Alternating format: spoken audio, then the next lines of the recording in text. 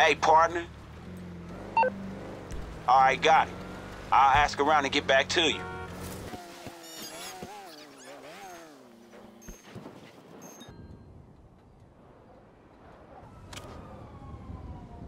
Hey, I will give you this target's name, but I know you haven't heard it before. He ain't even famous yet. But shit, he about to be. Some sick degenerate trust fund kid who fucks up people's lives for fun. He spiked girl drinks, done hit and runs, assaults, man, you name it. And then he paid his way out of all that shit.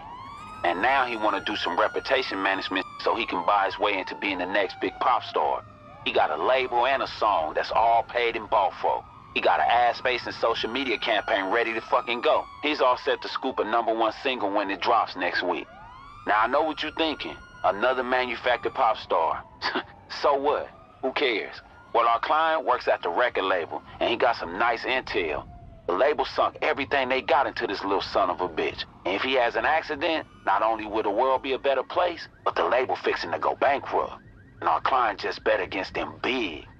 So look, we make the stock crash, our clients get some zeros added onto their bank account, and we get a slice of the motherfucking pie.